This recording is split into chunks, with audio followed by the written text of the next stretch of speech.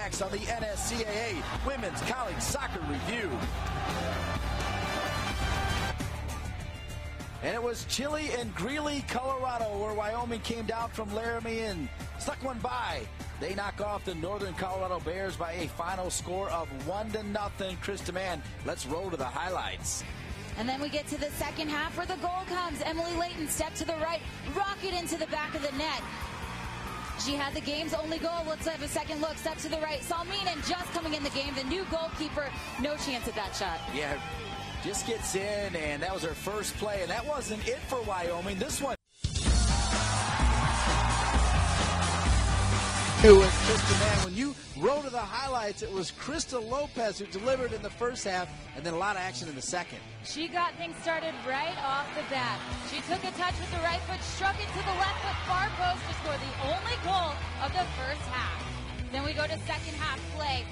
The ball springs in, a little flick, and a, a bender with the right foot. She strikes it again with the right for Richardson to finish that second goal. Give Colorado credit, they came back, Christa. They did. We have a nice composed finish by Cassidy Fitzpatrick, who bends the ball in low to the far right post. And then who better than Shay Marshall to finish off a deflection on a header from a corner kick. Final goal of the game. Richardson again in a foot race, Good shot by Richardson, celebrating, and that is the game winner on the NSCAA Women's College Soccer Review. And let's roll to the highlights as two goals in each half for the Tar Heels. Watch this play. Jones, she plays a nice ball in behind. Watch the service. The service all the way across.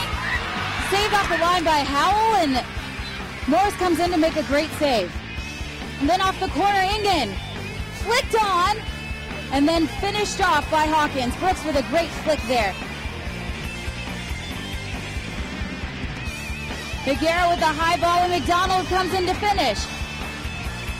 Rachel Gibbon wanted a piece of that one as well, but they're not done, folks. The Tar Heels will get two more in the second half. In the second half, Engen scores. And she has a big Hawkins. She said, hey, I set you up, set me up.